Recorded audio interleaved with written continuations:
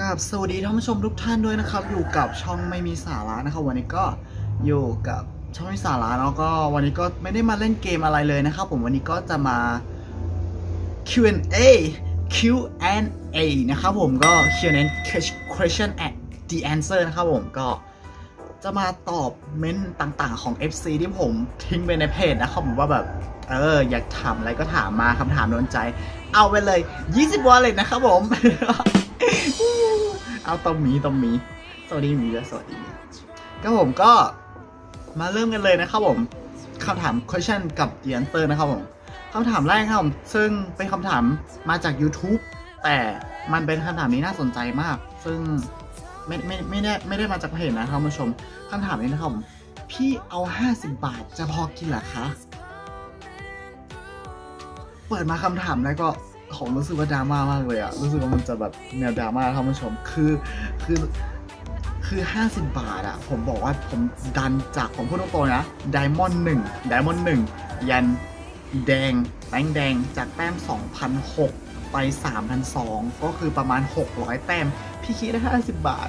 จริงๆ พี่คิด 50 บาทจริง ๆ แล้วก็บางไอเดียพี่แถมให้ด้วยซ้ำอะบางไอดีนะ อยู่ไดมอนด์4ไดมอนด์4เขาจ่ายมา 50 บาท พี่ไม่รู้ว่าจะดันไปถึงแต้มเท่าไหร่ พี่ก็ดันไปยัน3 5 0 0เลยอะก็ก็600แต้มนะผู้ชมไดมอนด์4อยู่ 2,009 ดันไปยัน3 5 0 0 600แต้มพี่คิดเท่าไหร่ 50 บาท คือแบบโคตรถูกเลยนะท่านผู้ชมแล้วก็แบบโดนโดนคำถามแบบเนี้ยพี่เอาแค่ 50 บาทพอกินเหรอคะ ร้องไห้ได้ไหมอะพูดตรงๆเลยไม่พอครับผมท่านผู้ชมไม่พอจริงๆ เฮ้ยพี่พี่ลงคลิปอะพี่ก็ได้เงินจาก YouTube ไม่ใช่เหรอ ผมพูดตรงๆถึงตอนนี้เลย ผมยังไม่ได้โค้ด YouTube เลยท่านผู้ชม ผมได้เงินจาก YouTube แล้ว แต่ผมยังไม่ได้โค้ด 6 หลักของ YouTube ที่ส่งมา ซึ่งโค้ด 6 หลักนั้นน่ะมันจะเป็นตัวที่สามารถใส่เข้าไปใน Google Adsense แล้วสามารถถอนเงินออกมาได้ ซึ่งผมยังไม่ได้เลยมมันส่งโค้ดนั้นตั้งแต่เดือนเมษาปะเอ้ยเดือนพฤษภาท่านผู้ชม มันส่งตั้งแต่เดือนพฤษภายันตอนเนี้ยกรกฎามิถุนากรกฎาสิงหาสามเดือนยังไม่มาท่านผู้ชมร้องไห้ได้ไหมอะซึ่งสามเดือนยังไม่มาเลยท่านผู้ชมแล้วก็แบบ ผมรอนานมากเลยนะผม แล้วก็ผมกดส่งซ้ำซ้ำสองรอบอะส่งให้มาส่งที่อยู่ใหม่ที่หนึ่งหนึ่งที่เชียงใหม่ที่อยู่แหละที่อยู่เก่าอะส่งแม่ฮ่องสอนเข้าใจว่ามันไกล ผมก็เลยเปลี่ยนที่อยู่ไปเป็นเชียงเชียงใหม่ตรงนี้ เชียงใหม่ผมให้มันส่งมาตั้งแต่วันที่ 2 กรกฎาคมยังถึงตอนนี้ยังไม่มาเลยครับผู้ชมยังไม่มาเลย ผมไม่รู้ว่ามันมันตกหล่นตรงไหน คว้างทิ้งแล้วหรือเปล่าไปรษณีย์ผมก็ไม่แน่ใจนะครับผมผู้ชม ก็ ใครอยากโดเนทก็ใต้เมนนะครับผม ผมทิ้งอะไรเลขอะไรให้โดเนทให้หมดแล้ว ถ้าอยากโดเนทมาก็โดเนทมานะครับผมท่านผู้ชม ไปดูคำถามในผมในเพจนะครับผม ไปดูคำถามนี้เลย เปิดมาคำถามแรกนะครับผม พี่ผมอยากเซ็ตหยอกกับพี่อะอุ้ยอุ้ย เปิดมาคำถามแรกโดนอยากโดนเซ็ตหยอกแล้วเหรออุ้ย อุ้ยตกใจนะ จะเซ็ตหยอกกับผมอะไม่เอาสิท่านผู้ชมเดี๋ยวให้มีผมไปจัดการนะเดี๋ยวเหอะเดี๋ยวเหอะเอามีไปเซ็ตหยอก ผมมีไปเซ็ตหยอกคุณอะไรแบบเนี้ยพี่ตุ้ยทำไมถึงทำ YouTube อืมเป็นคำถามที่ดีมากๆทำไมถึงทำ YouTube แล้วก็ทำไมถึงทำเกมเดี๋ยวผมบอกเพิ่มด้วยคือ ผมอะทำ YouTube ตั้งแต่ม .2 ครับผมทำ YouTube ตั้งแต่ม .2 จริงๆ ม .2 นั้นอะผมทำคลิปคลิปหนึ่งซึ่งมันบูมมากๆ แต่ผมก็ไม่ได้ทำต่อเพราะว่าโดนยึดมือถือครับผมเสียใจมากผมโดนแม่ผมยึดมือถือหาว่าแบบเล่นแต่เกมอะไรอย่างเงี้ยครับคุณผู้ชม คือคลิปหน้าเดี๋ยวผมขึ้นให้เลย คนดูอยู่1นึ่งแสนสี่หมื่นคนอะผมลงคลิปอะอุ้ยคนดูเยอะมากท่านผู้ชม คนดูเป็นแสน แต่แบบโดนแม่ยึดโทรศัพท์เพราะตอนนั้นอะผมยังใช้มือถืออะไรอะ True ที่แลกไปแลกสามสามร้อยบาทก็จะได้เครื่องมาเลยท่านผู้ชมจำได้ใช่ไหม ทูทูอะไรไม่รู้โทรศัพท์ทูอะนั่นแหละ ผมเอาเครื่องนั้น cast เกมท่านผู้ชมคิดดู เอาเครื่องแบบ 300 บาทอะที่สัมผัส True สัมผัส 300 บาท แล้วมันจะเติมเงินให้ 300 บาทอะเอาเครื่องนั้นสัมผัสมา cast เกมอะคนดูเป็นแสนคิดดู มือถือมันไม่เกี่ยวจริงๆว่าแบบ คุณจะแบบมือถือแรงหรือไม่แรง มันอยู่ที่คอนเทนต์ครับผม อยู่ที่คอนเทนต์จริงๆว่าคนจะเข้ามาดูหรือไม่มาดูมันอยู่ที่คอนเทนต์จริงๆพูดตรงๆเลย แต่ผมก็งงนะไอคลิปนั้นคนดูตั้งแสนกว่าวิวอะ ได้ตังค์แค่35 บาท พี่ทำไมพี่ชอบปรับลาบลื่นใช่ปะทำไมพี่ชอบปรับลาบลื่นอ้อเป็นคำถามที่ดีมากๆ ซึ่งเวลาผมเล่นอะ ผมเล่น ผมจะอัดคลิปไปด้วย ซึ่งพูดตรงๆเลยมันกระตุกเข้าผมมือถือผมมันยังไม่แรงพอผมอยากได้แบบซัก iPhone 12 อย่างเงี้ยครับคุณผู้ชม iPhone 12 13 อะ ผมจะปรับสูงสุดให้ดูเลย ปรับได้ครับผมแต่ไอเนี้ย iPhone X เนี่ย มันปรับได้ถามว่าถามว่าปรับได้ไหมปรับได้แต่มันจะไม่ลื่น มันจะแบบ มันจะแบบ FPS มันจะมันไม่ตรงตัวแบบว่าปรับแรกๆโอ้เล่นลื่นเลย พอผ่านไปสัก10นาทีมันจะเริ่มแบบมีกระตุกละ นั่นแหละผมไม่เหมือนไม่ค่อยชอบพูดตรงๆเลยมือถือไม่แรงครับผมพูดตรงๆเลย ถ้าใครอยากสนับสนุนก็ส่งมือถือมาได้นะ พี่มีแรงบันดาลใจในการเรียนครับผม แรงบันดาลใจในการเรียนคือเอมิฟูคาดะครับผมอ้ยเอ้ยไม่ใช่ แรงบันดาลใจในการเรียนครับผมซึ่งผมเรียนภาษาญี่ปุ่นเนาะผมผมเรียนภาษาญี่ปุ่นก็ก็ต้องมีแรงบันดาลใจในการเรียนภาษาญี่ปุ่นอยู่แล้ว ก็คือ ต้องท้าความก่อนนะครับผมซึ่งผมดูอนิเมะญี่ปุ่นตั้งแต่ป .6 เรื่องแรกที่ดูก็คือที่แบบว่าพูดภาษาญี่ปุ่นนะแล้วก็ซับไทยอะ่ะเรื่องแรกที่ดูก็คือโตเกียวกูนะครับผมแล้วเขาทำให้ผมแบบ ผมติดมากสนุกมาก ตอนนั้นอะมันมีแค่ภาคหนึ่งเองตอนป .6 กับโตเกียวกูอะมีแค่ภาคหนึ่งเองแล้วผมลองภาคสองแล้วแบบเฮ้ยภาคสองอะมันมันมาแบบญี่ปุ่นอีกแล้วอะ แล้วก็แบบผมจะทำยังไงถึงจะแบบดูแล้วก็ inner ไปด้วยแบบไม่ต้องอ่าน sub นั่นแหละก็คือจุดเริ่มต้นในการเรียนภาษาญี่ปุ่นของผมเอ้ยเริ่มเขียนฮิรากานะตอนม .3 และภายในแค่ครึ่งเทอมครึ่งปี ผมสอบ N5 สอบ N5 เลย กดสอบ N5 โดยที่แบบว่าความรู้ผมตอนนั้นยังแค่ฮิรากานะคาตาคานะคุณคุณคิดดู คือแบบผมโง่มากเลย ผมไม่รู้ว่าแบบมันยากแค่ไหน แต่แบบ N5 มันคือต่ำสุดผมคิดว่าน่าจะง่าย ๆ ผมมีเวลาแค่ 4 เดือน 4 เดือนในการอ่านอ่านความรู้ระดับ N5 สรุปไปสอบครับผมได้แค่ 74 คะแนน มันเอาเอ่อเท่าไหร่อะ90 คะแนนปะผ่านเข้าไปชมไม่ผ่านครับผม ขึ้นไปม .5 สอบ N5 อีกรอบหนึ่งก็ ผ่านครับผม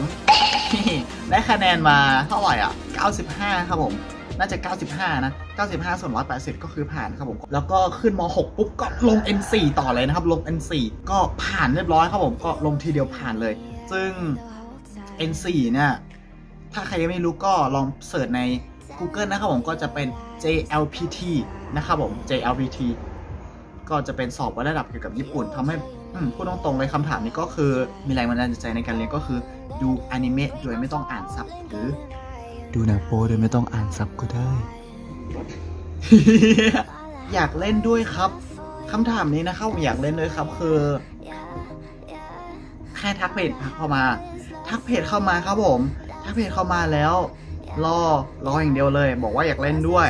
พิมพ์แค่นั้นแหละ รอ แล้วก็ประมาณสักทุ่มสองทุ่มผมก็จะส่ง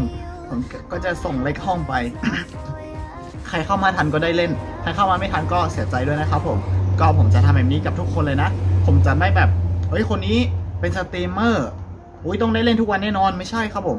ใช่ผมมีสตรีมเมอร์ผมมีสตรีมเมอร์เป็นเพื่อน แต่ผมก็ไม่ได้เล่นกับเขาทุกวันส่วนมากผมจะเล่นกับ FC ด้วยซ้ำผมก็จะส่งเลขห้องไป FC อยู่ rank Gold rank Platinum ผมก็เล่นด้วยนะ Silver เขายังก็ยังมีท่านผู้ชม ผมก็ยังเล่นด้วยนะท่านผู้ชม จากคุณนัทพงษ์ไม้นะครับผมทำไมพี่หล่อจังครับ โอ้โหคำถามนี้นี่คือแบบขอบคุณครับ อุ้ยผมหล่อมากเลยเหรอขอบคุณครับผมโอ้ยผมหล่อจริงดิเกม ES พี่ชื่ออะไรครับ ผมถามครับจากใจจริง ๆ เลยพี่ ชื่อตุ้ยครับผม ชื่อตุ้ยครับ T U I ตุ้ยที่แปลว่าอ้วน แต่ตัวที่ผอมมาก ผมก็ไม่รู้เหมือนกัน พี่ทำไม ถึงเล่นเกมเก่งแบบนี้ครับ โอ้โห อยู่ในสายเลือดครับผมหยอกหยอกเมื่อก่อนอะผมเล่นเกมแบบแนว S FPS แล้วผมติดครั้งแรกก็คือเกม PB นะครับผมเกม PB เคยมีประสบการณ์กับเกม PB ด้วยนะ เดี๋ยวผมว่าผมจะทำคอนเทนต์ใหม่ก็คือ เล่าประสบการณ์ตัวเอง ก็จากเด็กเลยยันโตว่าผมผ่านอะไรมาบ้าง เจอเรื่องร้ายๆแย่ๆเยอะมากผมบอกเลย เยอะเยอะแบบเยอะสุดๆเลยเดี๋ยวผมจะเล่าให้ ผมน่าจะทำรายการใหม่ทุกวันเสาร์อาทิตย์ในการมีเรื่องจะเล่า เออทำไมพี่ถึงเล่นเก่งก็ก็เล่นตามปกติครับผมเล่นเล่นตามปกตินั่นแหละ แต่ก็เล่นตามไอดอลของผมอะไอดอลผมมีไอดอลนะอะเปิดให้ดูเลยตุ๊สตุ๊สตุ๊สตุ๊สตุ๊สตุ๊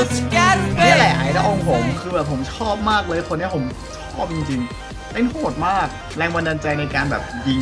ยิงแบบยิงมันๆแบบนั้นเลยครับผู้ชมจากสงพบสงพบนะครับผม พี่คิดยังไงมาทำ YouTube อืมเป็นคำถามที่น่าสนใจมาก พี่คิดยังไงมาทำ YouTube ก็อย่างที่บอกผมทำ YouTube ตั้งแต่ม .2 แล้วก็หยุดไป แล้วก็ แล้วก็มาทำแนววอล์กแนว vlog ตอนมหาลัยปีหนึ่ง แล้วก็แบบผลตอบรับไม่ค่อยดีอะผม หน้าตาไม่ดีหรือเปล่าก็แบบ คนติดตามแค่ร้อยกว่าคนอะช่องนั้นอะมีคลิปเยอะมากเกือบร้อยท่านผู้ชมมีคลิปเกือบร้อยเลย แล้วคนติดตามผมน้อยมากผมอุตส่าห์ทำคลิปแบบตั้งใจทำคลิปว่าคนดูสองสามร้อยคนนะท่านผู้ชม ผมท้อมากๆเลยผมก็เลยเปลี่ยนแนว เพราะว่าผมชอบเล่นเกม Free Fire ไงตอนนั้นอะเออ ก็เลยกลับมาเป็นช่องไม่มีสาระนะครับผมแล้วถามว่าทำไมถึงทำ YouTube ก็เป็นสิ่งที่ผมทำตั้งแต่เด็ก แล้วก็แบบผมชอบ มีการแบบเอาตัวตนตัวเองลงบนโลกออนไลน์ แล้วก็แบบ เราเล่นแล้วก็คนอื่นมาดูแล้วมันสนุกอะเขามาชมผมชอบนะผมพูดจากใจแล้วผมชอบมาก แล้วก็มีรายได้จาก YouTube ด้วยเป็นอีกทางหนึ่งที่ผมคิดว่าแบบ เราไม่ต้องแบบไปทำงานバイト หรือ バイトแล้วก็เราก็ไม่ไม่ต้องทำงานพาร์ทไทม์เพื่อหาเงิน ผมทำ YouTube เอาดีกว่าอะไรแบบนี้ครับผมท่านผู้ชม ทีปกรณสายแก้วแม็กซิมจะแม็กซิมจะรอเซตหย่อคุณในเกมเอ้ยแม็กซิมจะจะเซตหย่อผมเหรอเอ้ยไม่เอานะ ผมกลัวนะ ผมกลัวนะคุณผู้ชมเอ้ยเซตย่อเลยเหรอ จะจะเล่นเซตย่อกันเลยเนาะจากคุณนัทพงศ์อะผมติดตามพี่มาหนึ่งเดือน ผมเคยคลิปพี่เล่นแรก ๆ ไก่มาก ปัจจุบันตอนนี้พี่พัฒนามากครับ สู้ๆมากครับพี่ชายผมเชื่อว่าพี่เล่นเรื่อยๆโหดจะโหดมาก ใช่ครับผมเมื่อก่อนอะคลิปแรกๆอะผมยิงแบบหนึ่งคนอะผมยิงนานมาก คลิปแรกแจ้งเกิด ผมหลายคนดูสี่แสนกว่าคนอะผมหนึ่งหนึ่งกับไอ้คนนั้นอะโอ้โหยิงหัวไม่โดนเลยอัด อัดตัวยับเลยท่านผู้ชม อัดตัวยับแต่ผมใช้สมองเล่นไงผมก็เลยชนะอุ้ยเล่นไก่มากตอนนั้นท่านผู้ชม พูดตรงๆเลยว่าเล่นไก่มาก ยิงหัวยยิงไม่ค่อยเป็นเลยตอนนั้นอะ อัดตัวอย่างเดียวลูกซองอัดตัวเก็บเสียรู้จักเปล่าซองสายฟ้า เอ่อนัทนันนัทนันนะครับผม คำถามนี้นะครับ พี่ชื่ออะไรอายุเท่าไหร่ครับ พี่ชื่อตุ้ยอายุ 21 ครับผมตอนนี้อยู่มหาลัยชั้นปีที่ 3 บ้านพี่เลี้ยงสัตว์ไหมครับ เลี้ยงแมวอยู่ที่บ้านเกิดนะครับ แมวแล้วก็ล็อกคอลูกแล้วด้วยเป็นแมวที่ผมรักมาก อยู่ด้วยกันมาประมาณ 3 ปีกว่าละพี่ชอบสัตว์ไหมครับ ชอบแมวครับ มาดูแมวที่ห้องพี่ได้นะก็ พี่มีแรงบันดาลใจคืออะไรครับ แรงบันดาลใจก็คือไปญี่ปุ่นครับผม ผมอยากไปญี่ปุ่นสักครั้งเลยพูดตรงๆเลยอยากไปญี่ปุ่นด้วยเงินของตัวเองครับผม พี่คิดว่าจากนี้ถ้าพี่มีผู้ติดตามครบ1 0 0 0 0แสนคนพี่จะทำยังไงครับ ผมก็จะฉลองครับ เย้เพราะหนึ่งแสนพกคนเมื่อไหร่คนจำคนนั้นได้หรือเปล่า ไอ้น้องคนที่มันไปเกียนมันไปโดรหัสคนอื่นแล้วก็แบบ ปลอมปลอมปลอมแปลงเป็นผมมาจำจำคนนั้นได้ไหมครบหนึ่งแสนผมเมื่อไหร่ผมก็จะเริ่มทำการดำเนินคดีกับน้องคนนั้นนะก็ผมพูดออกมาแล้ว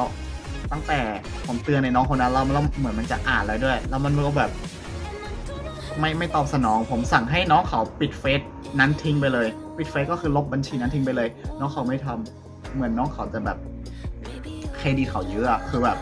มี FC ผมไปกดติดตามเขาแบบเขาเขานึกว่าเป็นเพจผมนะไปติดตามไป 200ก็200ก็ถูกใจแล้วนะ ก็ก็เยอะแล้วนะ น่าจะเป็นแบบซื้อขายได้เลย ถ้าคนติดตาม 200กว่าคนอะกดใจ 200กว่าคนอะซึ่งแบบผมสั่งให้มันปิดก็ไม่ปิดนะเขาก็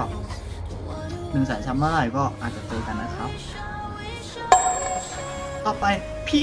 จะทำอ๋ออ๋อโอเคพี่เกิดวันที่เท่าไหร่ครับ พี่เกิดวันที่ 3 เดือนกรกฎาคมของ 2544 ครับผม วันที่ 3 ครับผม ก็วันตรงกับวันอะไรอะวันลูกเสือใช่ปะพี่เป็นคนจังหวัดอะไรครับ เป็นคนจังหวัดแม่ฮ่องสอนเป็นคนกะเหรี่ยงนะผม เป็นคนกะเหรี่ยงแดง ที่พูดกะเหรี่ยงแดงได้นะครับผมก็เป็นคนกะเหรี่ยงเลย เกิดหมู่บ้านกะเหรี่ยงเลยครับผู้ชม อยู่แม่ฮ่องสอน แล้วก็มาเรียนที่มหาลัยมาลาสเชียงใหม่ที่เชียงใหม่นะครับผมก็มาเรียนภาษาญี่ปุ่น เพื่อบินไปญี่ปุ่นไปกันอภัยพาวเวอร์ ที่น่ารักมากครับ พ่อแม่ที่ภูมิใจใช่ไหมครับ ที่หาเงินหาเงินให้พ่อแม่ใช้ อุ้ยจุกนะพูดตรงๆจุกจุกจุกมากเงิน YouTube ผมยังถอนตัวเองถอนยังไม่ได้เลย FC ผมขอโทษ คือ ถามว่าตอนเนี้ยขอเงินพ่อแม่ไหม ก็ไม่ได้ขอแล้ว แต่ก็มีขอจากพี่ชายคนโตบ้าง ก็ขอแค่ไปโรงเรียนคือ คือต้องเข้าใจนะครับผม เงินจากที่ FC โดเน a มาให้ในการต่อยอะไรเงี้ยมันน้อยมากๆ คือแบบอย่างที่คำถามที่หนึ่งเลยที่ถามว่าแบบ 50 บาทพอกินเหรอคะนั่นแหละคือ FC โดนโดนเน a มายแค่นั้นนะฮะบางคนก็ 50 บาท บางคนก็ร้อยบาทพี่คิดแบบถูกมาก ๆ เลยแล้วก็แบบ มันไม่พอจริงๆครับผู้ชม ก็อาจจะมีขอพี่ชายบ้าง แล้วถามว่าทำไมเงิน YouTube ไปหายไปไหน ก็อย่างที่บอกยังถอนออกมาไม่ได้แล้วครับผู้ชมไม่รู้ว่าลักบาร์โค้ดมันตายมันตายที่ไหนอะผมไม่รู้เหมือนกันยังไม่เห็นส่งมาเลยคำถามนี้ก็คือในอนาคตผมน่าจะทำให้แน่นอน ก็รอดูคลิปติดตามกันไปเรื่อยๆนะครับผมพี่เป็นลูกครึ่งหรอครับ ใช่ครับลูกครึ่งกะเหรี่ยงไทยไทยกะเหรี่ยงครับผมก็ลูกครึ่งไทยกะเหรี่ยง เรียกลูกครึ่งได้ปะคำถามของน้องกันนิรนิรพล Skyler จะเซตหย่อพี่เฮ้ย Skyler จะเซตหย่อผมเลยเหรอเฮ้ยผมเล่น Skyler ตั้งแต่เปิดคลิปมาเลยนะ ผมชอบ Skyler มากตั้งแต่แบบ Skyler ยังไม่บูมอะเขาเขายังใช้โคโน่ที่มันแบบยิงออกไปข้างนอกได้อะผมเล่น Skyler ตั้งแต่ตอนนั้นไม่แทบไม่มีใครใช้เลย Skyler ท่านผู้ชมตอนนั้นอะ คือแบบผมชอบมากเลย ที่ทำยูทูบมากี่ปีครับผมก็ ถ้าเริ่มจากช่องไม่มีสาระนะก็ 2 ปีแล้วครับผมก็ได้แค่นี้แหละ พี่มีแฟนหรือยังจีบได้เปล่าคำถามนี้ขออุบไว้ก่อนก็ถ้าเข้ามาคุยกันได้ก่อนนะใส่ถ้าอยากจะติดต่องานนะครับผมธีรพัฒน์คำถามของธีรพัฒน์พี่หล่อที่สุดในโลกจริงไหมครับ อุ้ยอุ้ยผมหล่อที่สุดในโลกเลยเหรอ ไม่ใช่ ไม่จริงครับผมไม่จริง คือแต่ละคนอะก็หล่อในแบบของตัวเองเนาะ ก็ผมพูดตรงๆเลยเพราะว่าผมก็ไม่ได้หล่ออะไรขนาดนั้นก็ครับผมพี่ทำคลิปเพราะอะไรล่ะครับ เพราะว่าได้ตังค์ครับผมเอาพูดตรงๆเลยก็คือเพราะว่าได้ตังค์เพราะว่าแบบผมจริงๆอะผมจะทำ TikTok ยาวๆแต่แบบทำ TikTok แล้วมันไม่ได้ตังค์เลยครับผู้ชมผมก็เลยหันมาทำ YouTube แทนเลยครับผมก็ทุกคลิปที่ลง TikTok ก็จะลงในคลิปว่าไปดูคลิปเต็มที่ YouTube ก็ sub นะครับผมก็ subลาบหมูที่ส่งไปได้กินหรือยังครับ เอ้าน้องส่งลาบหมูมาให้พี่เหรอ ไหนอะพี่พี่ยังไม่เห็นเลย น่าจะเน่ากลางทางละมั่งลาบหมูเนี่ยโอ้ยบ้าบอส่งลาบหมูส่งลาบหมูมาหา การขนส่งใช้เวลาอย่างต่ำสองถึงสามวัน ผมบอกเลยวันแรกก็เน่าแล้วไม่ไหวภูริภูริก่อนพี่ครับวิชาอังกฤษข้อหนึ่งตอบอะไรครับ เอ้า วิชาอังกฤษข้อหนึ่งตอบ A มั้งครับเอ้าคำถามผมยังไม่เห็นเลยตอบ A หรือเปล่า ผมไม่แน่ใจพี่ชิดพงศ์ พี่คิดว่าในอนาคตพี่จะมีสตูดิโอเป็นของตัวเองไหมครับ เป็นคำถามที่เป็นคำถามที่แบบน่าสนใจมาก ถามว่าจะมีสตูดิโอของตัวเองไหมแน่นอนจะมีสสตูดิโอของตัวเองแน่นอน แต่ผมไม่รู้ว่าจะมีเมื่อไหร่ ก็รอติดตามกันไปเรื่อยๆ พี่ครับทำไมพี่ถึงปั๊มแรงให้คนอื่นฟรีครับ อ๋อ ครับ ก็มีเสียตังค์และฟรี คือ ปั๊มแรงอะ คือ ผมจะดันให้คนที่จ่ายตังค์มาก่อน เพราะว่า ผมก็คือคนเนาะผมก็กินข้าวเหมือนกัน กินข้าวดื่มน้ำเหมือน FC ทุกคนเหมือนกัน ซึ่งผมก็อยากจะมีรายได้ เพราะว่า YouTube มันยังถอนไม่ได้เลยผมก็อยากมีรายได้จากการทางนี้ ผมก็ จะดันให้คนจ่ายตังก่อน ดีหนึ่งที่ดันให้ฟรีผมก็จะดันให้ประมาณ 300 แต้มฟรีๆนะครับผมจะดันให้ 300 แต้มพร้อมรีวิวลง YouTube ให้เลยนะครับพี่ชอบทำอะไรในชีวิตประจำวัน การทำงานของช่องไม่มีสาระ ตื่นเช้ามา ตัดคลิปครับผมตื่นเช้ามาตัดคลิป ตัดคลิปคลิปที่ถ่ายไว้ตอนกลางคืน ผมจะเล่นเกมตอนกลางคืน เมื่อวันก่อนประมาณ1นึ่ทุ่มถึง5้าทุ่มเล่นเกมดองคลิปเอาไว้ ID หนึ่งพอตื่นเช้าขึ้นมาอีกวันหนึ่งผมจะทำการตัดต่อตัดต่อตัดต่อเสร็จปุ๊บ render render มาให้เป็นคลิปเหลือจากจากคลิปที่ผมเล่นมา 8 ชั่วโมง 7 ชั่วโมง 6 ชั่วโมง 5 ชั่วโมงแล้วแต่แล้วแต่ ID แล้วก็ตื่นขึ้นมาอีกวันหนึ่งก็ ตัดคลิปย่อคลิปให้เหลือประมาณ 10ถึง20 นาที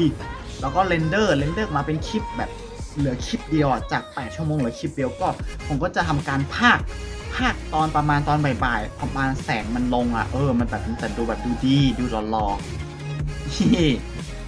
ครับผมหลักการทำงานช่องไม่มีสาระก็ประมาณนี้เลยพากเสร็จปุ๊บแล้วก็มายัดในตัดต่อต่ออีกตอนประมาณบ่ายสองบ่ายสาม ก็ตัดต่อเพิ่มเข้าไปเพราะว่ามีมีผมเข้าไปพากเข้าไปก็ต้องตัดต่อเพิ่ม แล้วก็ตัดต่อเสร็จปุ๊บอะก็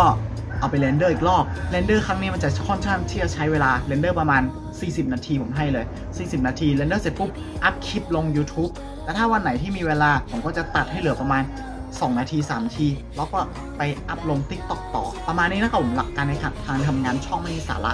ก็ถามว่าทำไมถึงเอาคลิปมาพากย์เอาคลิปคนอื่นมาหรือเปล่า ไม่ใช่เอาคลิปตัวเองเล่นนะครับผมแต่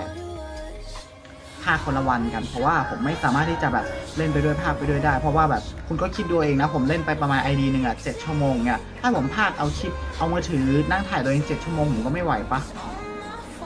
ใช่ปะไก่กับไข่อะไรเกิดก่อนอืมผมว่าน่าจะไก่นะ เพราะว่าก็ก็เอ้ยก็ไก่เขาไข่ในเล้าใช่ปะ ใช่ปะพี่เล่นกี่นิ้วครับผม ผมติ้วสองนิ้ว เอ้ยไม่ใช่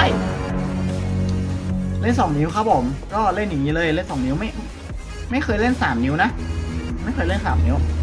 สองนิ้วเท่านั้นครับผมพี่อายุเท่าไหร่สูงเท่าไหร่น้ำหนักเท่าไหร่ พี่สูงอ๋อพี่อายุ21สูงประมาณ175น้ำหนักประมาณ60ครับผม ประมาณนี้เลย โอเคนะครับผมก็คำถามก็ หมดเป็นที่เรียบร้อยคำถามก็ไม่มีแล้วถ้าใครอยากถามเพิ่มก็รออีก 2 เดือน รออีก 2 เดือนผมก็จะมาทำ Q&A อีกรอบนึง ก็คลิปนี้ก็ขอบคุณน้องหมีที่มาอยู่ด้วยกันนะครับผม ขอบคุณน้องหมีที่มาอยู่ด้วยกันและขอขอบคุณทุกคนด้วยนะครับผม ขอบคุณทุกคนด้วยนะครับ ที่เข้ามาดูคลิปนี้ก็อย่าลืมกดไลค์ กด subscribe กดแชร์กันด้วยนะครับผมวันนี้ผมก็ขอลาไปก่อนของ Q&A รอบ 2 ครับผมก็ขอลาไปก่อนนะครับสวัสดีครับ บ๊ายบาย โชคดีกับการหยุดวันเสาร์อาทิตย์นะครับผม